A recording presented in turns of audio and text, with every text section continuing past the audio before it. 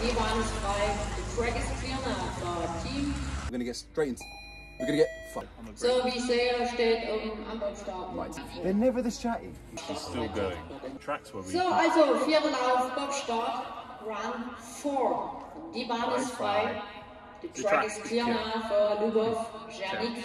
This may have been a mistake. So- Literally never heard this woman do this much talking. She always does. Right, go on, let's go. Never know. Go. Um, yeah, so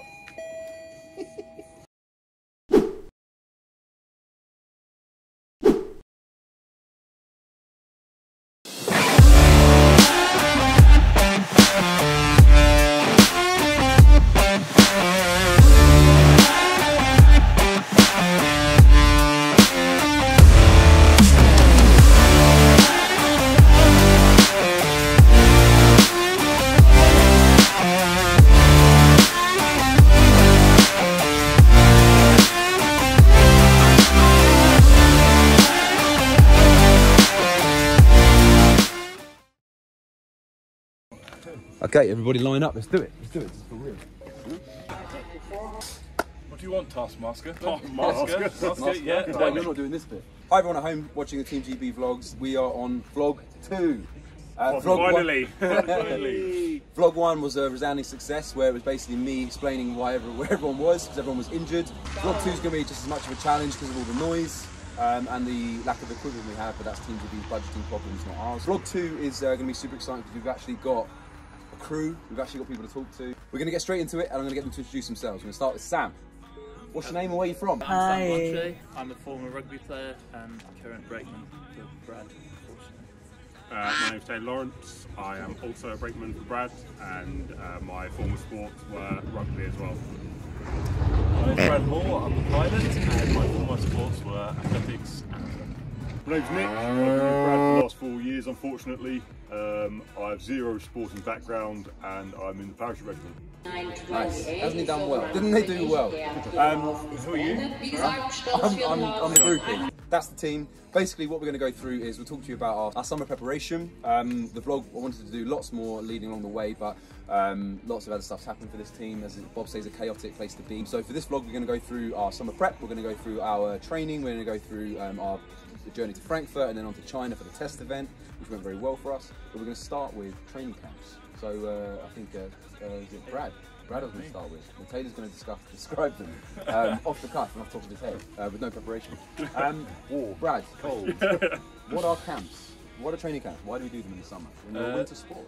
Training camps uh, over the summer is mainly where we uh, practice for the start. So over the winter we can um, we race, we train on the track, so with the driving, and but over the summer is where we uh, look to build our engine. So that's where we uh, do a lot of push training camps to get everyone physically ready for ready for the sum, uh, for the winter to give yeah nice and nice and big, big and fast and strong, and not too much like pudding.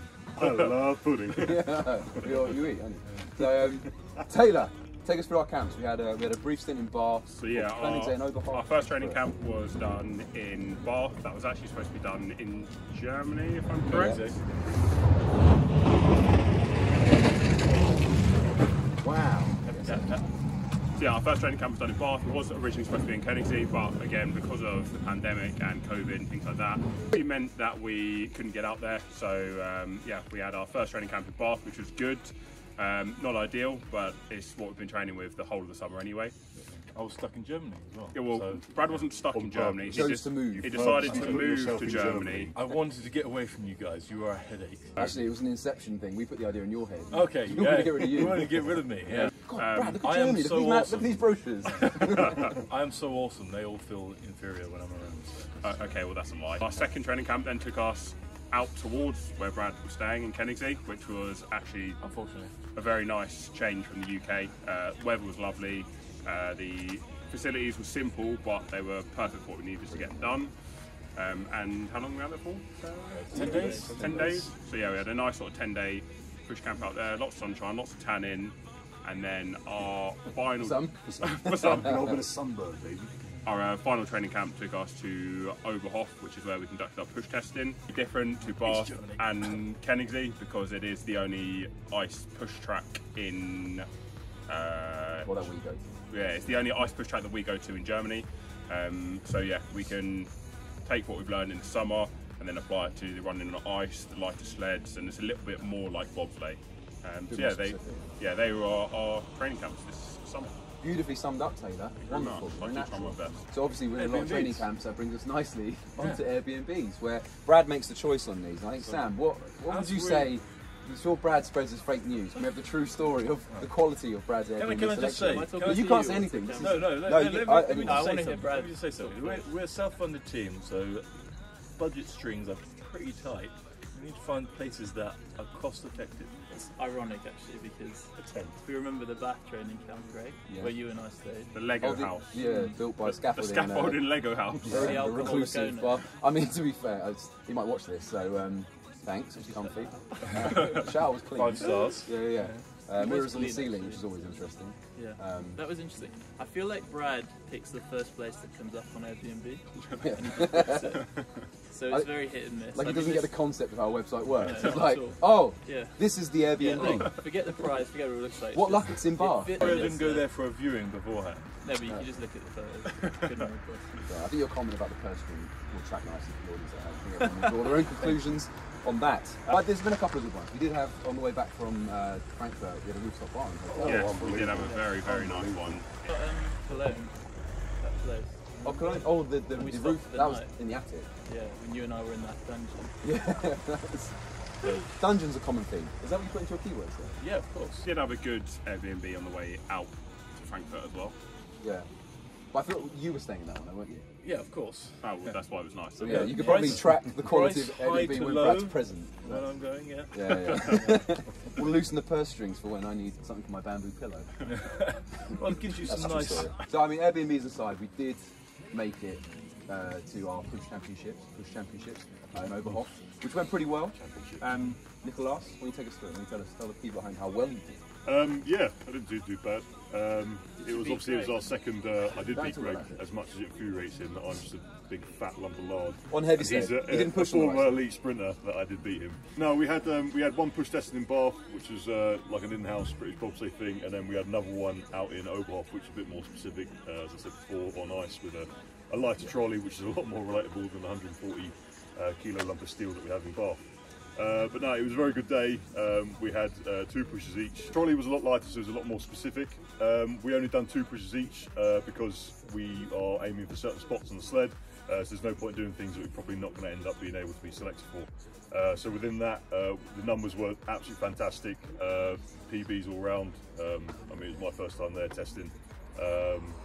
Um, Still did very well. um, yeah, we didn't slip, so no, no one slipped over. It's excellent. And it was also, I mean, likewise, we had such a nightmare, as everyone at home who tuned in for Vlog 1 would know. Um, we had a nightmare of injuries last year, so I think the idea was also not to push on too many handles or do too much that we're not going to need to do if you're not going for those spots. Keep everyone fit and healthy. I actually thought it was overkill. I wanted more pushes. I think we all wanted You would more have, pushes you would have had about 16. No, I see. This is the fake music that's put around at me. I wanted the two. I wanted the two that you'd get in World Cup.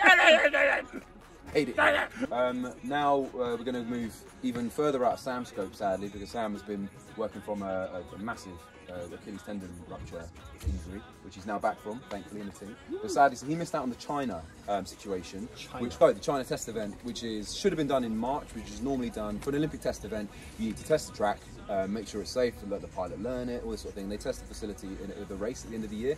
Obviously, because of COVID situation, we couldn't do that, so we went um, pre-season in October, which is a bit unusual, but uh, but a really good, rewarding trip to China for three weeks.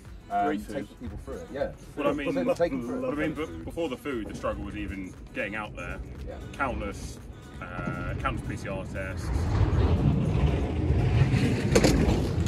Having to fill in all sorts of health declaration documents. I mean, Oh yeah, nightmare. Then even getting to the airport, we were stood around in Frankfurt Airport for the best part of what three hours. So standing around in the airport for about three hours uh, to finally board the flight, and I'll leave Oh, yeah, the boys to the take you through the food that was on the flight that was um, questionable for a nine-hour flight, A or ten-hour sweet flight. corn sausage. Yeah, Uh, was packed. it an egg yolk? No, Uh, it was a soy full, egg. a full egg with like soy sauce infused into it. I thought vacuum I thought that was chocolate jelly. No, no, no. Oh, so that was an egg. Egg. poo. I, well, beats that. One of the one of the Italian coaches told me it was a um, cow's testicle. So I was like, ah, I Did he eat it? no. I was going to say, there was like a yolk in it. yeah, well, But no, you That also had was two second big loaves of pretty much loaves of bread. Oh, an enormous your roll that was so cold and dense. Some you milk. couldn't get anything in it. Some milk. Some milk. Can't packet which looked like some ta- there's a picture on it which looks like some tasty beef jerky in it so you oh, get it and you're like oh this is going to be amazing Cat food. you open it up open the next one and then it looks like cat food covering covered in jelly Yeah. it smells like it too yes, Tasted like it too.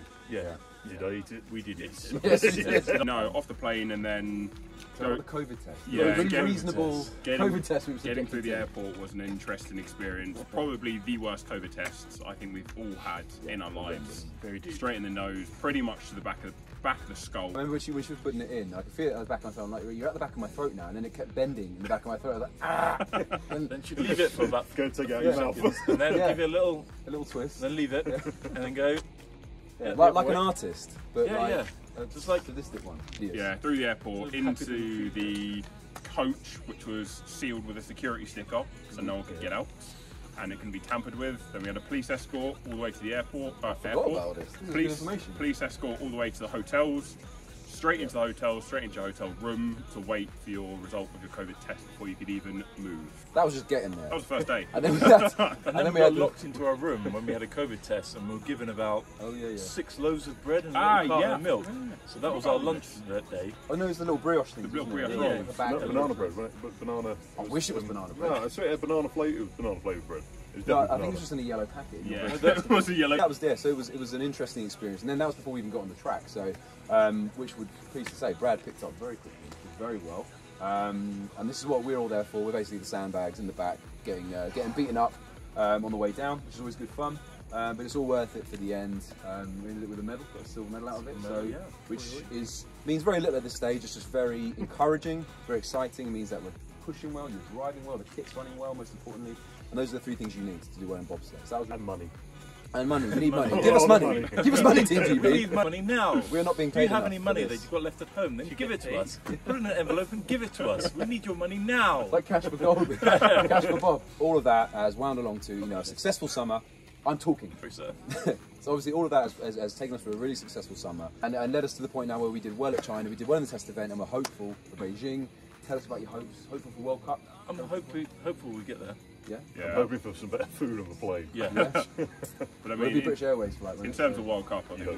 we're, we're hopeful for a good first race. Hopefully, some medals leading up just to uh, get the warm and fuzzy the Yeah. whole season, and yeah, hopefully finish off with some uh, World Cup medals and Olympic medals. So fingers crossed. Definitely. I, we just want to build momentum. Like the past couple of years, for this team has been such a challenge. Like the guys have had to come back from ridiculous injuries. Um, you know, and uh, like for Big Sam, obviously you're now back. It's, it's pretty extraordinary. Um, from an Achilles tendon rupture, which is crazy. Um, Nick his hamstring problem last year. Everything basically for the reason that there were nobody around last year. We're now all back together, um, and it's uh, yeah, a really exciting time for British bobsleigh. Very looking much. Very much looking forward to it. Very looking much. I am Very very feel. much. I Yeah. am very feel. I, yeah, yeah. I feel feel. Good luck, chaps. Yes. Thank you very much, Thanks sir. for, thanks for being here today. Appreciate it. Appreciate don't shake my hand too hard. Because what you don't know is Brad crashed us yesterday, so we're all a bit fragile. Taylor, I missed you. Thank you. Um, Little victory roll. we'll see you for vlog three, which may come sometime in 2024. Maybe We're all retired.